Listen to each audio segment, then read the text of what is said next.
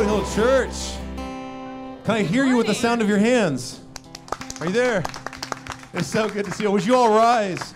It is so good to see your faces. I was just walking around talking to many of you. Hey, good to see you guys again.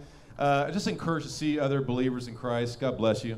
And to our friends listening in the parking lot to Foothill Live 90.9. We're so glad you're here, just here in spirit. And our friends at home, we long to see you here with us. We want to worship with you. God's been moving in these services, and uh, but we're glad we're here, um, bonded through the Holy Spirit. So let's. We're going to start off the service uh, just singing a hymn, "Holy, Holy, Holy." I think it's important that we remind ourselves that worship, when we start at a service, it's not a warm-up song. This isn't a time just to express ourselves. This is our time where we remind ourselves of who God is and who we are to Him. So let's sing this all together, just all four verses, and, uh, and do that together now. Holy, holy, holy,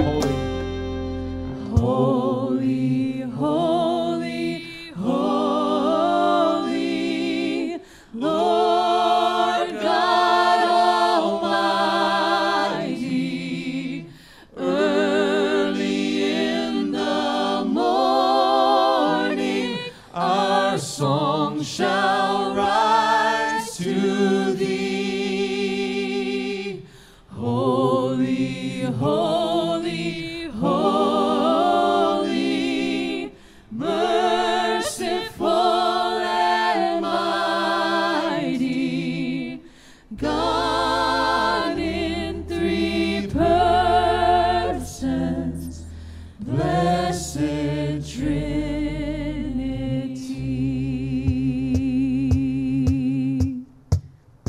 Amen.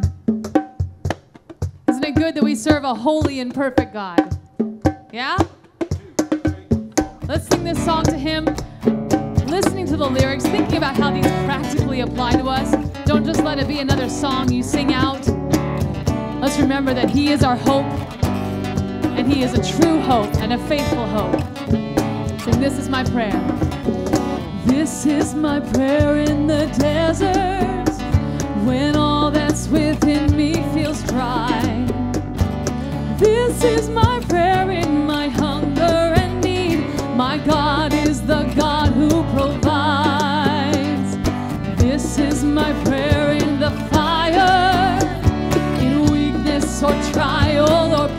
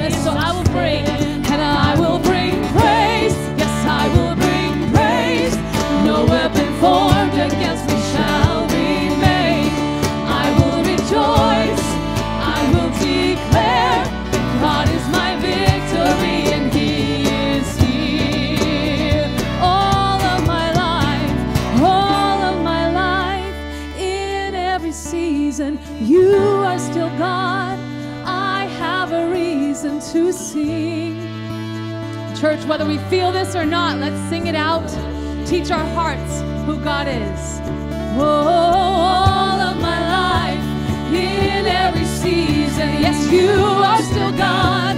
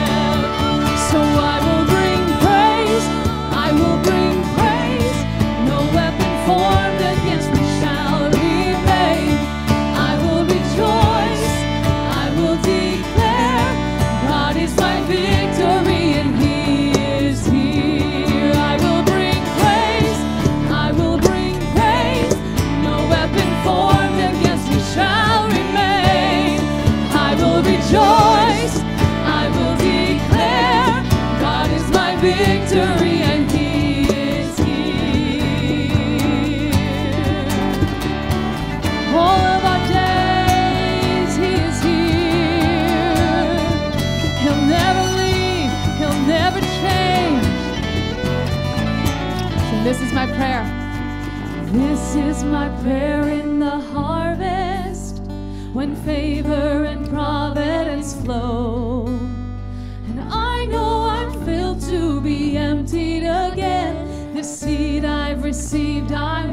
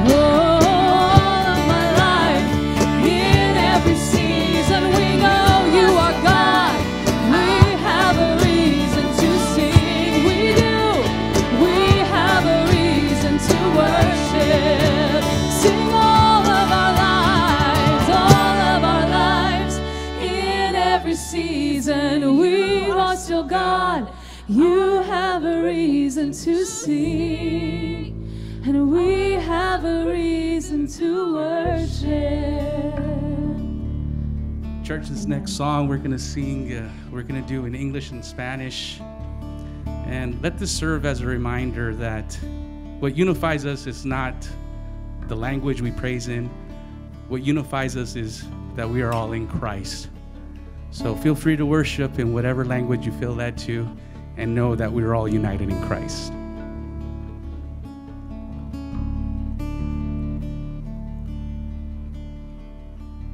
Tú fuiste el verbo en principio, unigénito de Dios. El misterio de tu gloria, revelado en tu amor. Cuán hermoso su nombre es, cuán hermoso su nombre es, el nombre de Jesús mi rey. Cuán hermoso su nombre es, nadie se iguala a él. Cuán hermoso su nombre es, no hay otro nombre. It was your plan. It was your plan to reconcile us. So, Jesus, you brought heaven down. Our sin was great, but your love was greater. What could separate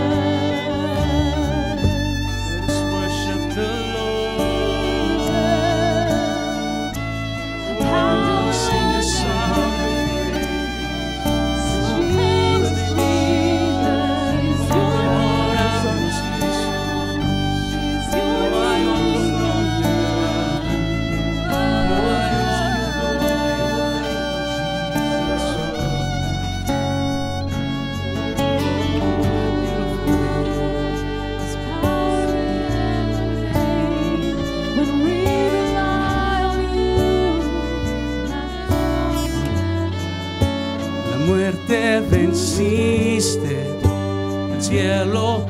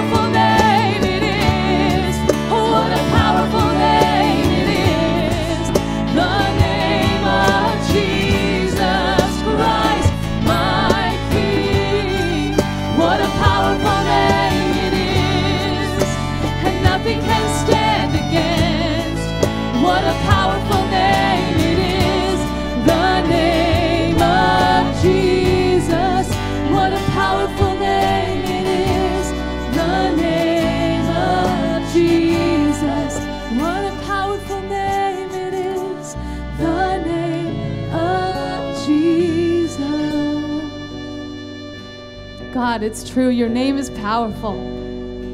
When I say Jesus, something happens inside because that name means more than any other name. That name holds truth with it, that name holds salvation, that name holds our future and our true hope. And God, we are so grateful. So, Lord, inspire us more to worship. We know you deserve it. We know it does our hearts good to bring it. So, God, we worship you this morning together as a church, as your church, for your purpose and your glory. In your name we pray. Amen. Amen. Thank you, church. Amen. Amen. All right. Well, uh, good morning. You can go ahead and have a seat. If you're at home, you could have a seat as well. Uh, kids, parents, if you guys are joining us for uh, the Foothill Kids service, we have some awesome volunteers in the back. You can see them waving those woodland creatures. Follow them to the services this morning uh, for the kids. And just as a reminder, parents, um, we're, we're asking that, an adult would be with them, someone from the household would be with them. And uh, moms and dads, this is just a great opportunity for you guys to model what family discipleship looks like to the kids. And so, um, yeah, take opportunity, take that opportunity and, and do that. Um, well, good morning. Welcome to Foothill Church Outdoors. How you guys doing? Good? Yeah, you guys excited to be here? It's good to see you guys. It's good to see so many people here. It's a nice, beautiful day. Um, and uh, my name's Chris. I'm one of the ministers here at on staff at Foothill, and um, I just it's just so good actually to see your faces. And so um, I just wanted to uh, just let you guys know that uh, we you know we have online services. We're in here in person, and if you're checking out with us online, good morning. Uh, it's good to see you guys too, and uh, you know virtually. And uh, I just want to let you know we, we miss you guys. We love you guys. We're praying for you, and and when you guys are ready and and and, and you feel it's safe to come back, we'd love to. We have a space for you as well. So.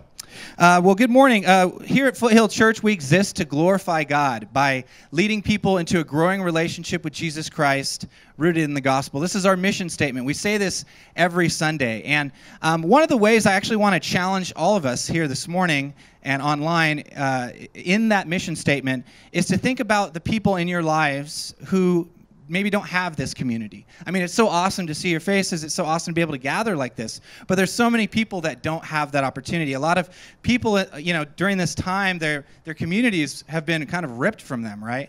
And so maybe they're more open than ever to to receive an invitation from a neighbor, from a friend to to come uh, join them in church. So it's just a great way to be able to live out that mission statement, to lead others uh, into a growing relationship with Jesus. So I want to welcome you to do that. And perhaps you are new this morning. Perhaps you're on the arm of a friend, or perhaps you're joining us online for the for the very first time. I want to say a special welcome to you guys too. Um, I'm just so glad that you're here. And um, if you're here in person, um, I'd love to meet you. I'll be standing out at the info tent at the end of service, and I'd, I'd love to shake your or give you a fist bump or a, a, a foot high five, whatever whatever's socially appropriate.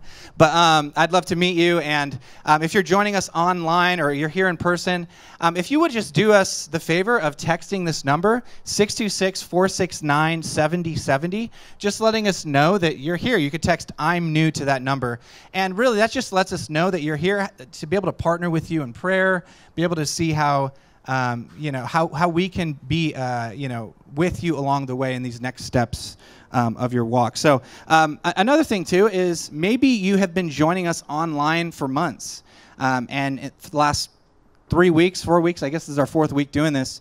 Maybe you just started coming in person and you hadn't done that before. I would love to meet you. We would love to know that you're here too. If you haven't received a gift from us, you can stop by that info tent area as well and pick up a gift.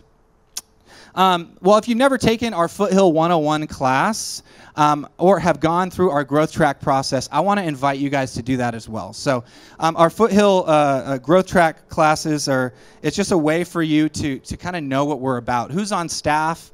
uh, what we believe as a church, why we believe it.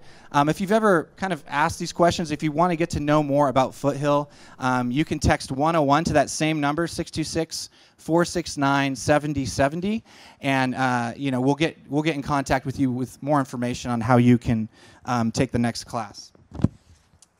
Um, well, we are currently in the middle of our season, our, of our current giving campaign. For the last three, I think four years, we've been able to do this to the end of the earth giving campaign. And basically, what this is, is, and, and you guys, it, it's just been such a blessing to see how God has worked through you guys, Foothill, um, to be able to provide and send money out for church planting. And that th- this is what this is. We partner with church planting churches that, that are, are, are you know, uh, multiplying themselves. They're, they're sharing the gospel in the communities around them. Here locally you know all, you know in chino and rancho cucamonga but then also to the ends of the earth in ireland and, and, and around the world.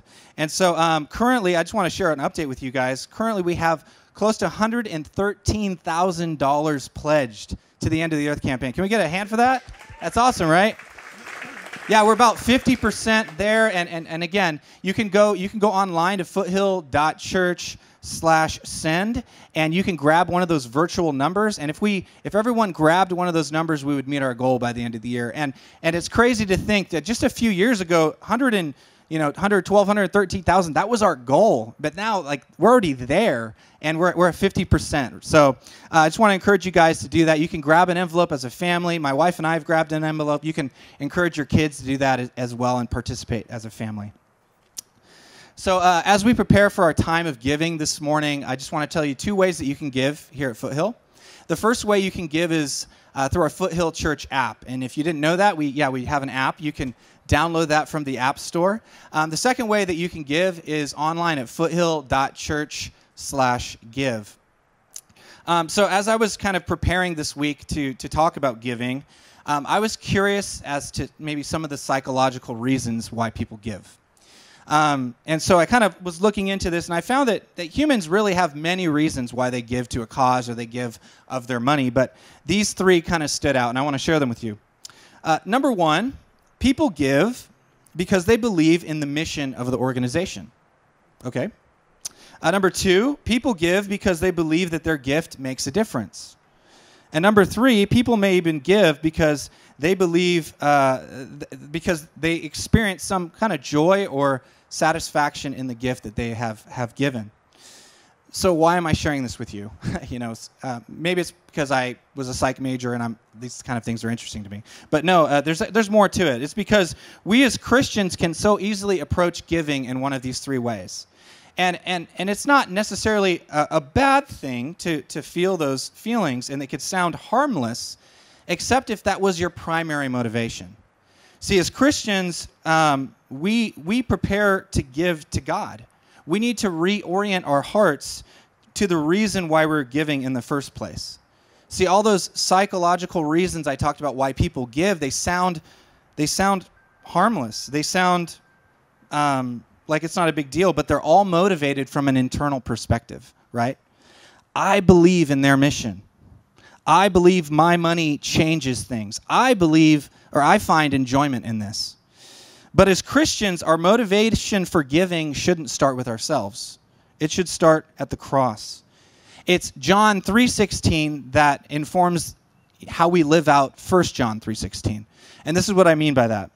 John 3:16, we all know this, right? Maybe most of us. For God so loved the world that he gave, right? But what did he give? He gave his son. He gave something that was dear to him. It's not theoretical here. His love um, had action. He gave. And because of this action, we as Christians can respond with 1 John 3:16, which says this: "By this we know love, that he laid down his life for us, and we ought to lay it down our lives for our brothers." Then if we jump down to verse 18, it says, "Little children, let us not love in word or talk, but in deed and in truth." So 1 John is reminding us that love is not just talk. Love is tangible we as Christians should, should respond with the gratitude that God has given to us. Karl Barth has said this. He says, Grace and gratitude belong together like heaven and earth. Grace evokes gratitude like the voice and echo. Gratitude follows grace as thunder follows lightning. So, the act of giving is a vivid reminder to us as Christians that it's all about God. It's not about us. It's not about where if we feel that you know our money is is going to a good cause. If we feel that uh, that you know giving how it makes us feel in the moment. Giving affirms Christ's lordship. It it dethrones us and it exalts God. So with that, let me pray for us and let's pray for the offering this morning. God, I thank you for your son Jesus who came um, and, and, gave up of his life as an example so that we can echo that in, in word and deed as we've been reminded this morning. God, I, I pray that you bless this offering um, and multiply it for your kingdom and for your glory. In Jesus' name, amen.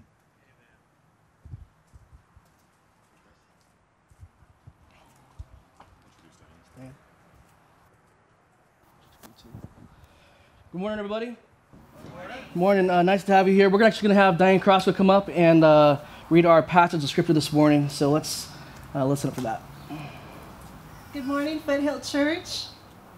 Today's scripture is found in Exodus chapter 1, verses 5 through 22. So let's please stand for the word of the Lord.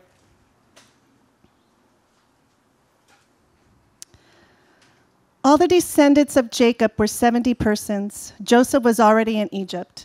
Then Joseph died, and all his brothers, and all that generation. But the people of Israel were fruitful and increased greatly. They multiplied and grew exceedingly strong, so that the land was filled with them. Now there arose a new king over Egypt who did not know Joseph, and he said to his people, Behold, the people of Israel are too many and too mighty for us. Come, let us deal shrewdly with them, lest they multiply, and if war breaks out, they join our enemies and fight against us and escape from the land. Therefore, they set taskmasters over them to afflict them with heavy burdens. They built for Pharaoh store cities, Pithom and Ramses. But the more they were oppressed, the more they multiplied and the more they spread abroad. And the Egyptians were in dread of the people of Israel. So they ruthlessly made the people of Israel work as slaves and made their lives bitter with hard service in mortar and brick and in all kinds of work in the field. In all their work, they ruthlessly made them work as slaves. Then the king of Egypt said to the Hebrew midwives, one of whom was named Shiphrah and the other Puah, When you serve as midwife to the Hebrew women and see them on the birth stool, if it is a son, you shall kill him but if it is a daughter, she shall live. But the midwives feared God and did not do as the king of Egypt commanded them, but let the male children live. So the king of Egypt called the midwives and said to them, Why have you done this and let the male children live? The midwives said to Pharaoh, Because the Hebrew women are not like the Egyptian women, for they are vigorous and give birth before the midwife comes to them. So God dealt well with the midwives. And the people multiplied and grew very strong. And because the midwives feared God, he gave them families. Then Pharaoh commanded all his people Every son that is born to the Hebrews you shall cast into the Nile, but you shall let every daughter live. This is God's word. You may be seated. Well, thanks, Diane. Um, hey, good morning, everybody. Glad to have you here at Foothill Church this morning. My name is Stephen Coffenrath. I'm one of the pastors here. And um, yeah, we're excited to be in Exodus this morning. And um, hopefully, you have your Bibles open, ready to go already. And this morning, we are kind of starting this new journey together for, uh, for the foreseeable future. Looking forward to what the Lord has for us in these, uh, these verses. And I want to encourage you, first off, um, if you did not hear last week's sermon, um, as Pastor Chris kicked us off, uh, just make sure to catch up. There are some tools that we want to equip you with when it comes to understanding how we read this book, and uh, really helpful from last week. Um, one of the things that we must understand about the God of the Bible, one of the things that he, he is he's telling us through the words of Scripture, is that he wants to be known. And that's something that I, I want to kind of frame this morning out and, and for you to just be reminded God wants to be known. And can we stop and just think about that for, for a second? God wants to be known. And I don't know what notion or thought you have of who God is and, and, and kind of maybe how he operates, but he is not trying to be mysterious or coy or, or kind of hold his cards close to the chest. That's not the God that we see in Scripture. God is very open and forthright about who He is and His character, and He'll go to great lengths in Scripture for us to see who He is and see His hand at work. And in large part, as we consider this, this passage in Exodus this morning, uh, this is what we see about God that He does very little to, to hide Himself. He, he wants us to know who He is.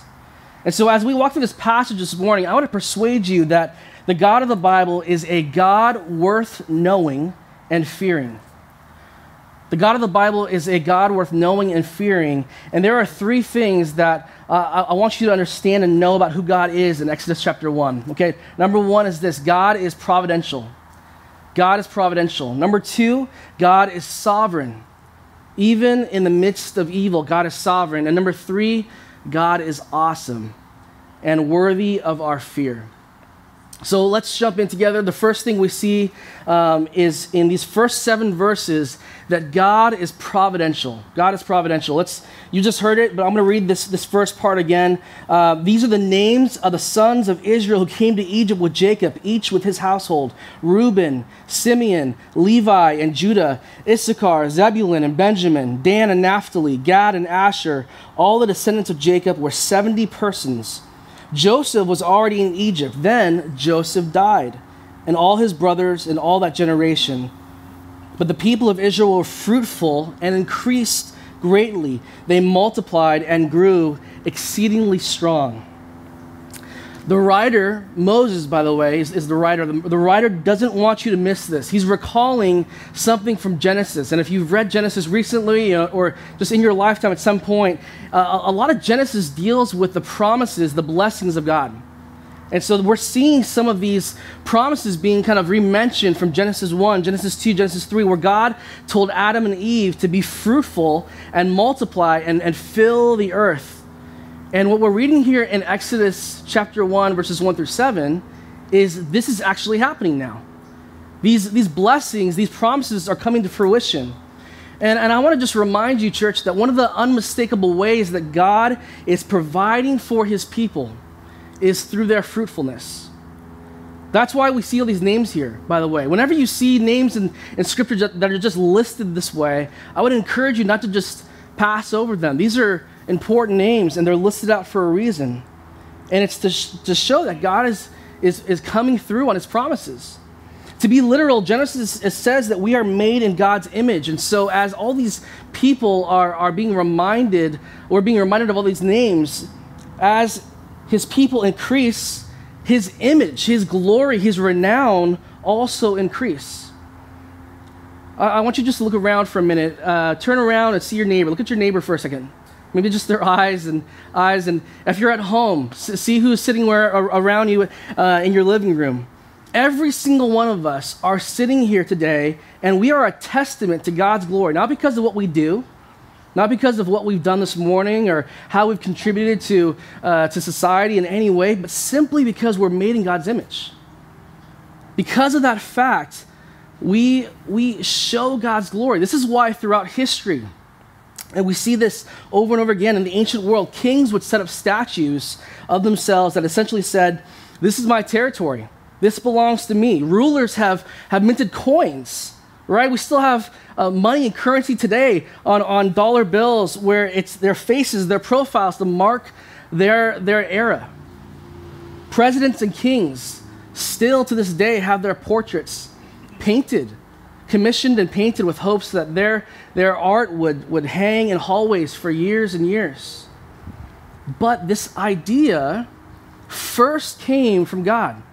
It first came from Yahweh, from the God of the Bible, that through the blessing of his people, people made in his image, people running all over the, around the world, showing off his glory. So the reason the Israelites grew from 70 to millions in 400 years is because God blessed them. Because God wants to be known in all the earth. And the best way for him to do that in this, this, time was to allow the Israelites to be fruitful and multiply for the sake of his own glory. And so that means having a lot of children. Let me just say something for a minute about having kids. Um, children are a gift from the Lord. Children are a gift from the Lord. Now, now, as I get into this, let me couch this with something that's important for you to hear me say as well. Listen, listen, church, being a parent and having kids is not the ultimate goal in life. Okay, that's not what I'm saying at all. There are many other ways that God can bless you and use your life. Some of you can't have kids, and that doesn't make you any less. But what I am saying is that if you do have children, they are a blessing. I know it doesn't feel that way sometimes, but they are a blessing. Children are a reminder of God's blessings. There's a book called What to Expect When No One's Expecting. And it's about the falling birth rate in America. Um, listen to this just for a minute. In 1979, the world's fertility rate was 6.0. Okay, 6.0. You need actually a rate of 3.1 to replace yourself. So that means in the 80s, the world's population was growing. All right, we with me so far? So today, different story. According to this book, globally, it's somewhere now around 2.4, and it's rapidly falling. In America, the, the fertility rate is now 1.77, which is well below our replacement rate. So here's how the author says it at the end. Think about this.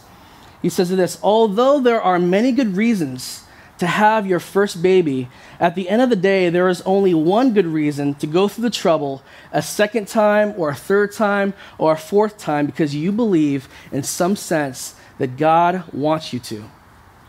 So, the basic reason for some people, for a lot of people, if we're honest, that we stop having children is because we, we, we, we see them as a burden and not a blessing we see them as a burden, not a blessing. We live in a culture, honestly, that values a, a litter of dogs more than uh, uh, you know, a van full of kids. Children cost money. Children are time consuming. Children ensure that you can't do what you plan to do, right? I mean, I'm speaking from experience here. I, I, I realize children aren't convenient all the time. I can't tell you the amount of times that I've seen, um, you know, people kind of just look at our family. I've been out with our four kids, and they kind of just look at me and they're like counting our kids up and they're like, seriously? Like, you did that on purpose? Do you, do you know how that works? Right? It's kind of like you get those comments and it's like, yeah, like I, we did it on purpose. And, and it's kind of become out of vogue to see kids as a blessing, but it is. Foothill Church, we have approximately 402 kids, 402 kids in our kids ministry program. We are a blessed church.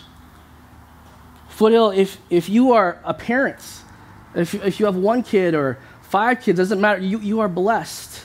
And I know it doesn't feel that way sometimes, but you're blessed. And one of the ways that God shows his covenant promises to Israel is to increase their number of children. So let me just kind of remove this idea of providence when it comes to having kids away from kids specifically for a minute. Children are the obvious blessing here. But let me just ask you also when it comes to God's character and seeing Him at work here in Exodus 1, verses 1 through 7, how has God been providential to you in this time? Maybe it's through your kids, but, but perhaps it's other ways. Many of you have kept your jobs in the midst of a teetering economy. Do you see God's hand at work? Do you recognize that God is, is for you and He's helping you? Many of you have stayed healthy in the midst of a global pandemic. Maybe you've even been healthier than ever. Do you see how God is preserving you and helping you? And I just want to encourage you let us keep watch. Let us look out for ways that God is providing so that we may praise His character and thank Him for His goodness to us. And so that's the first thing I want us to see here is that God is providential. What else do we see about God's character in Exodus 1? Secondly, God is sovereign. God is sovereign even in the midst of evil. Meaning that God is all knowing, He's all powerful, He is in charge, He's in control, even when evil things happen. So let's look at verse 8 here. Now there arose a new king over Egypt who did not know Joseph. Verse 8 signals that something ominous is happening. All right, so if you're, you're watching a movie and you kind of are introduced to a character early on in that movie and the, the music changes a little bit, right? You guys know what I'm talking about? This is what we're seeing in verse 8. There's, there's this evil kind of shady character who, who comes on the scene. Um, and, and by the way, we established last week, if you remember, that the book of Exodus is ultimately about who? Who's it about? It's about God, right? It's not about Moses, it's not about the Ten Commandments. Exodus is about God. Now, the fact that he's the main character is, is, is important and known to us because we, we've been reading about this. But it appears that no one let Pharaoh in on that bit of theology because Pharaoh thinks that this story is about him. And we start to see the way that he kind of comes on the scene with this inflated sense of self importance that, like, I'm the man, right? I'm going to come in here and start all these new reforms and policies and do all these things. And Pharaoh, I would go so far as to say, Pharaoh really sees himself as an equal to Yahweh. That he sees himself as an equal sparring partner to God. And that's kind of the narrative through this first half of Exodus. And we'll see that in the next couple verses. Now, in verse 8, going back to this passage, why is it important that the writer, Moses, notes that the new king did not know Joseph? Why is that relevant? Well, if you recall the story of Joseph in Genesis 47, you don't have to turn there, but maybe just write down Genesis 47, look back at that later on. You'll remember that Joseph is a national hero in Exodus, I mean, in, in Egypt, I mean. And Joseph, because of God's wisdom and timing, and because of his planning, he directed the whole nation of Egypt to set aside food and provisions during a time of plenty when there was a famine coming. So Joseph is like known in Egypt. He's a guy who, who people remember and people are grateful to. And he saved countless lives. But as we read in verse 8, this new king, this new guy, comes on the scene, and either he wasn't briefed or he didn't care to know about the history, this wonderful kind of historical relationship between the Hebrews and the Egyptians. And so this new king comes, and he sees the Hebrews, and there is no goodwill.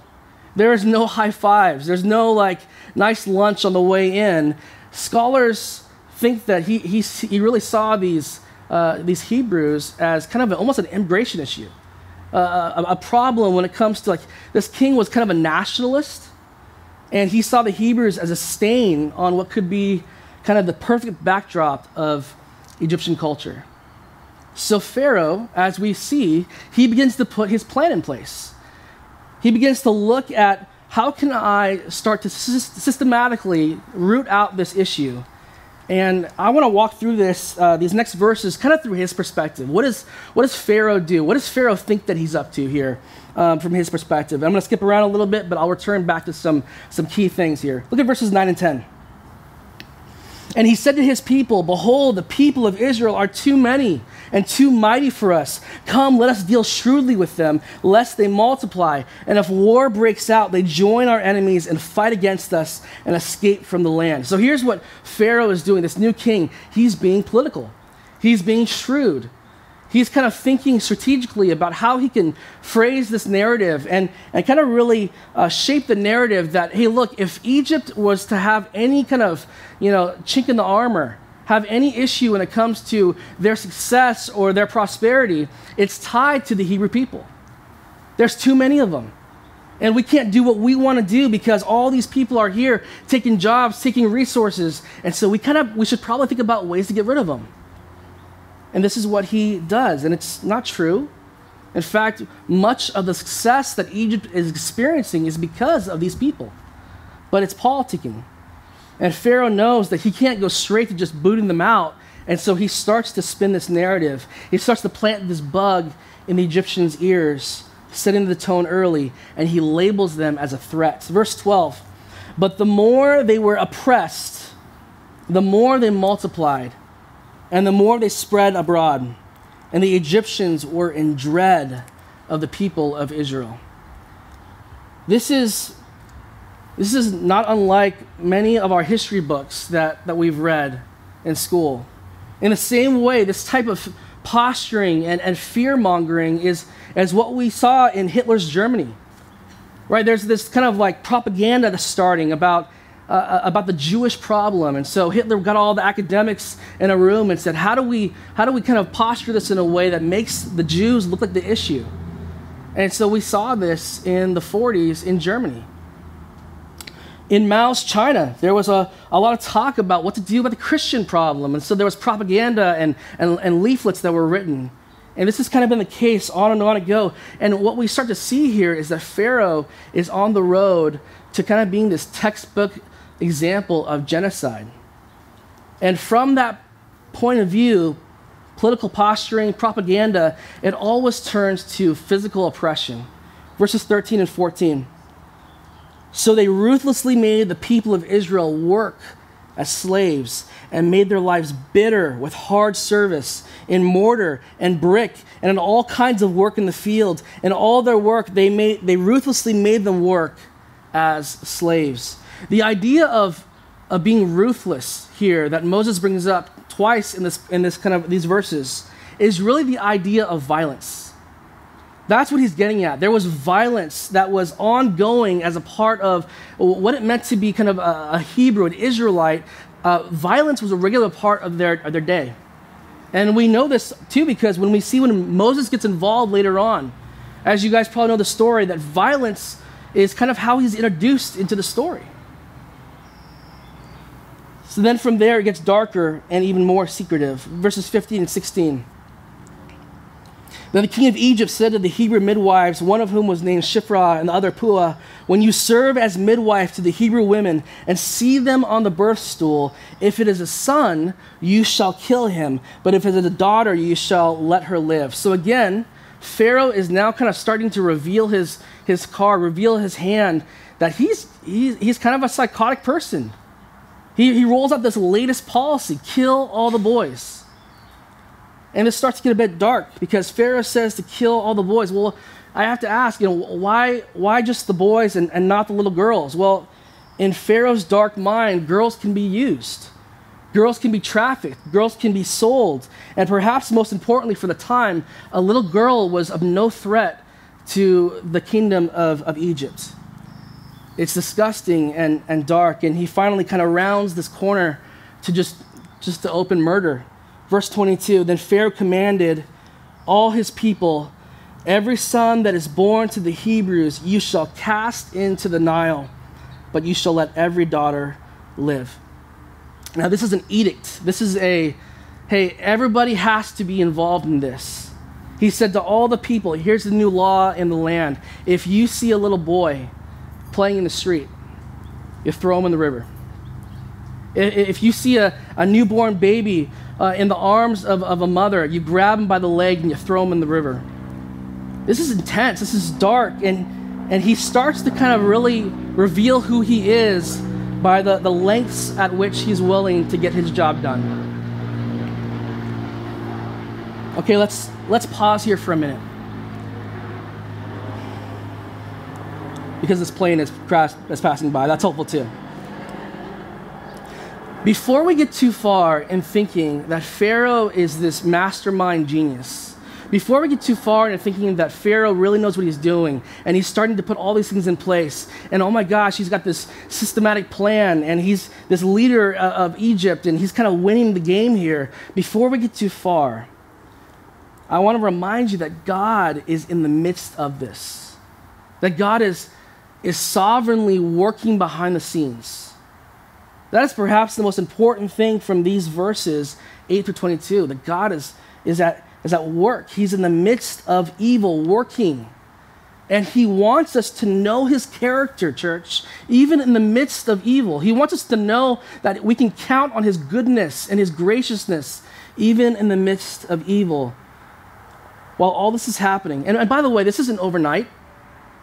This isn't happening, you know, in, just a week span. We read this plan that Pharaoh enacted, you know, just in a few minutes. But this is years of kind of methodical, systematic work that Pharaoh is trying to, to work out. And all throughout, God is at work behind the scenes. I want to remind you of something that Charles Spurgeon once said. He says, God is too good to be unkind. He is too wise to be mistaken, and when we cannot trace his hand, we must trust his heart. I love that. When we cannot trace his hand, we must trust his heart. And going back to the Garden of Eden, Genesis 3, when the serpent deceived Adam and Eve, and they, they bought in, they sinned, they, they fell to their sinful nature. When it seemed like the serpent had, had won the day, when, when, when he had actually got the better of them, at the same time, God was already working. God was in the midst of evil, working out a plan of redemption for his people. Fast forward to the end of the Gospels, when when Satan and the demons believed they won, they did it. They killed Jesus Christ on the cross. And what do we know, Christians? That God was working in the midst of evil. That three days later, that same, that same Savior would, would rise from the grave. Listen, Foothill, that this work that God does is not just in the pages of Scripture it's not just some theological abstract, it is work that He is actually still doing in the midst of evil today. God is at work in your life, in my life, and if you have been wronged, if you've experienced some type of evil done to you, God is at work. Because we realize that the God of Exodus is the same God that we serve today. God cares for you. Listen, God cares about you. And He cares what you're going through. And his care is meant to be kind of nuanced and laying over your experience as you experience life in a broken world, in a fallen world. God's care extends to you if you've been abused. Eh, for every child who's been hurt or taken advantage of. And even when evil happens to you, when evil happens to us, as Spurgeon reminds us, when we cannot trace his hand, we can trust his heart. We were never promised easy lives as Christians.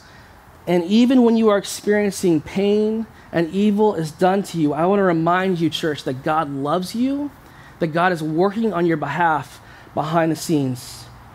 Well, how does that work? Let's go back to the passage for a minute and, and find out how does God do this in Exodus 1?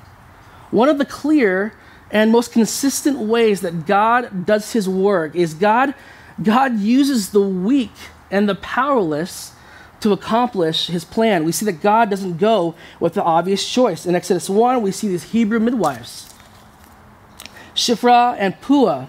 They feared God, and apparently that was enough. They are used by God to save dozens, probably hundreds of baby boys that were supposed to be thrown into the river, that were supposed to be killed upon delivery, and, and they, they disobey.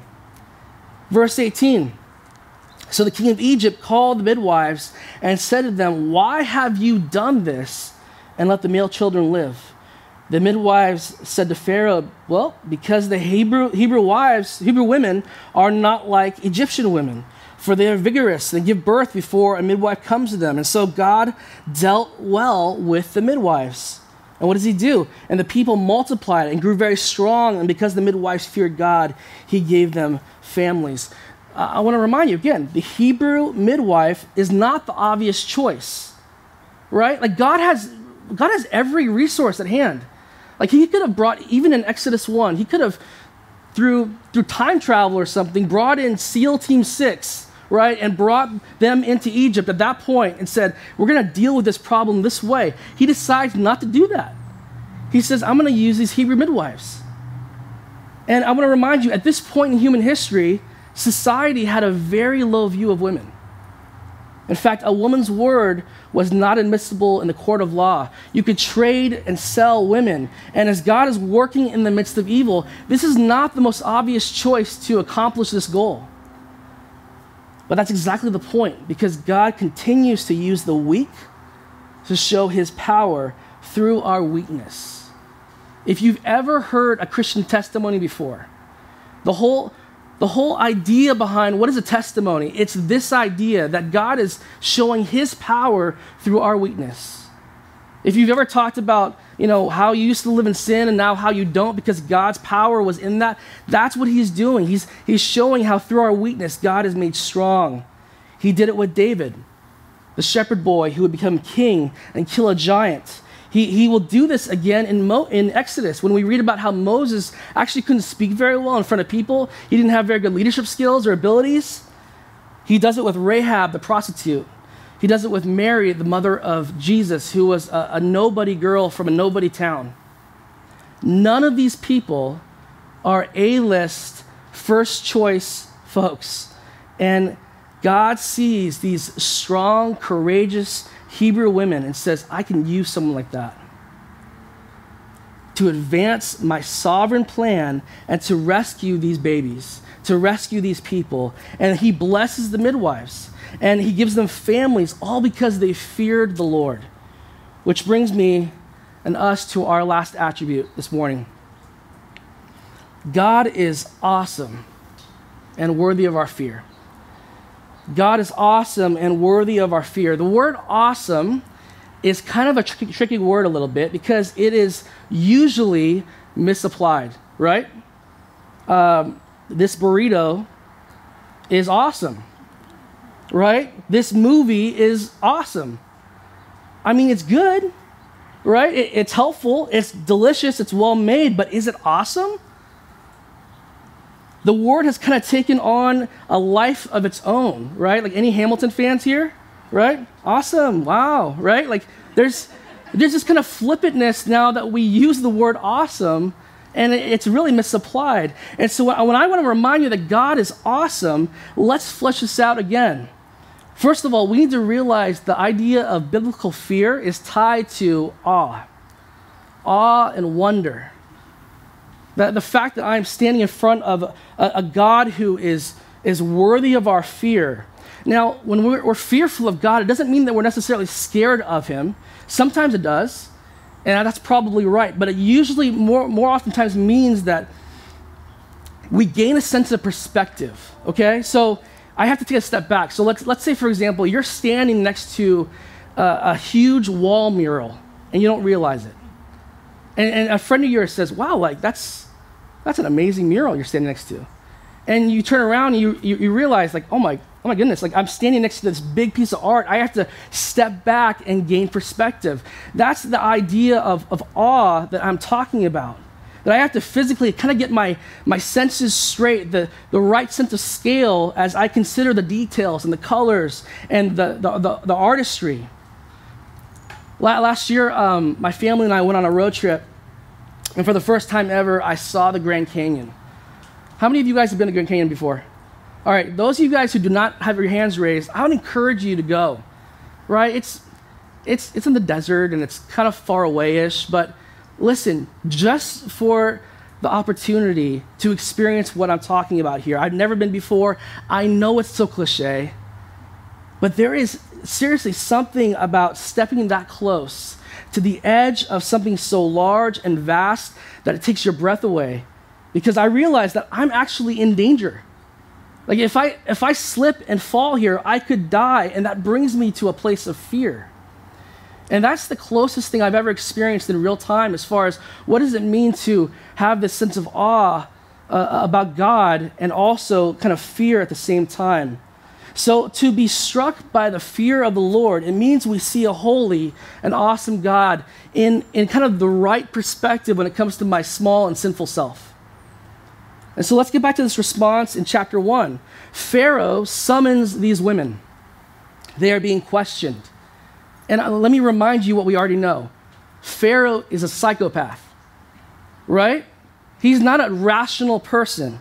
We know who this guy is. He belongs in the pantheon of sick, messed up, psychotic rulers in history. And he asked the midwives, Why didn't you obey me? Wow. I mean, think about the worry and angst you and I would feel in that situation, standing in front of, face to face with Pharaoh. They know what they've done. And so what do they do? They start spinning this crazy lie. Well, you know, us, us Hebrew pregnant ladies, we're tough. And we kind of get after it. And, uh, you know, even before we get there, these women are pushing and they, they deliver babies before we even can get there. I mean, we, we want to do what you're saying. We want to kill the babies, okay? But the timing is just off. I mean, this is crazy. This is an underrated part of the passage. Uh, what in the world would cause these women to lie in the face of a psychopath? Where, where are they getting this from? Well, very simple. They had a fear for God that outweighed any fear they had for Pharaoh. this fear was rightly placed. And as we see in these midwives, the fear of God develops godly courage. King David expressed this well in the Psalms, Psalm 27, verses 1 through 3. He says this The Lord is my light and my salvation. Whom shall I fear? The Lord is the strength of my life. Of whom am I going to be afraid of? Though an army may encamp against me, my heart shall not fear. The war may rise against me. In this I will be confident. Is your fear, is your awe, is your respect rightly p- placed, Christian? Have you experienced uh, a, a, picture, an idea of who God is to the point where you're not worried about what the world thinks anymore? Or are you more concerned what your friends think, what your boss thinks, all the people that you haven't seen in five years on social media, and yet you, you, you bend over backwards for them? When, when there's one person who really matters God is awesome and worthy of our fear, and yet we are so willing at times to set, aside, set that aside for lesser fears. And so God is making himself clear to the Israelites and to you and to me today. He's reminding us that he will provide for your need, that he is sovereign and in control, even in the midst of dark days that we are experiencing, even, even this year, and that he is awesome and worthy of our fear and our reverence.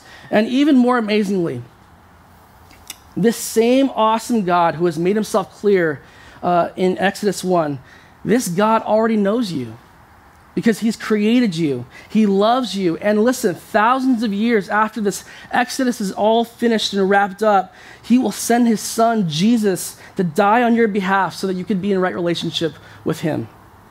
That is a God worth knowing a God worth giving our days to, a God worth giving our lives to.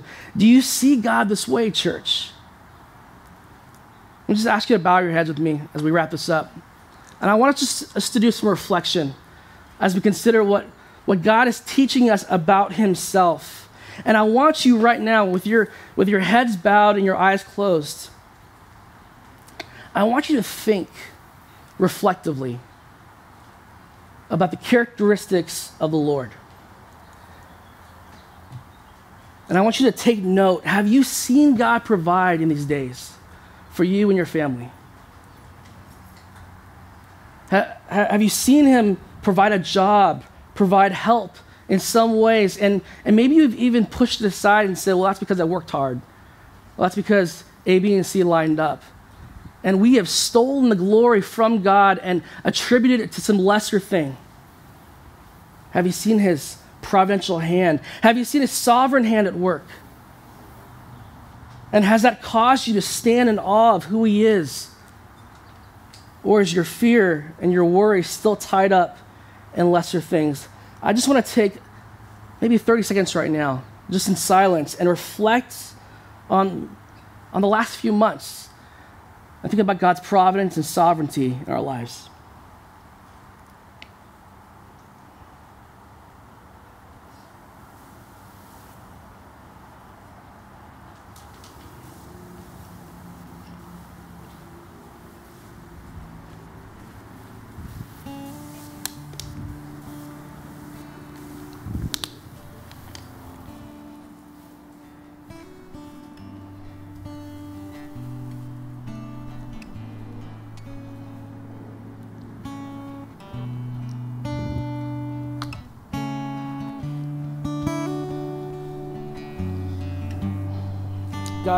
We, confess this morning that we sometimes, usually, oftentimes, we don't see you rightly. We don't respect and fear your power. And so, God, I want to I want to ask that you would remind us of that in this moment. God, help us to know who you are and even in deeper and greater ways this week so that when we can't trace your hand, we can trust your heart. God, you are so good. You are so loving to us. You are working behind the scenes. And sometimes we just neglect to say that out loud. And so, God, I pray that that would, that would fuel our hearts this week to live lives of worship, realizing that it's, it's all because of you in your hand. And God, we, we ask for forgiveness for the times that we don't recognize that. You are at work, you want to be known. And God, help us to know you even greater. We pray this in your name. Amen. Amen.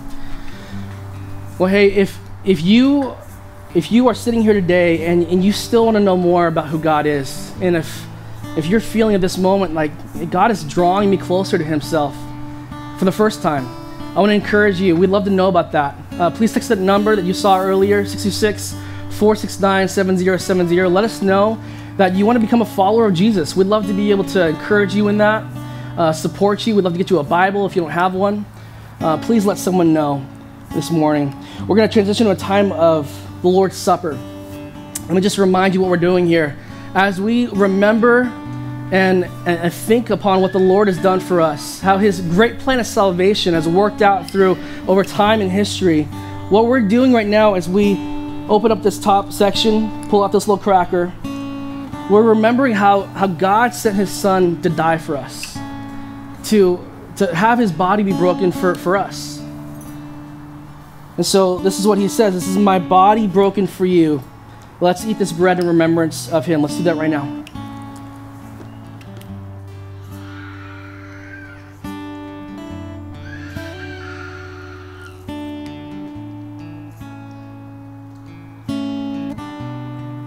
Then Jesus took the cup.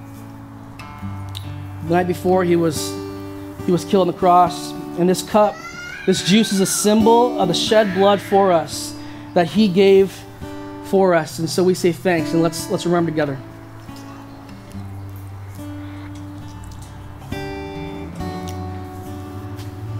Amen. Well, let's um, let's stand together. Let's let's lift our voices. Let's lift our hands and worship as we reflect on who God is.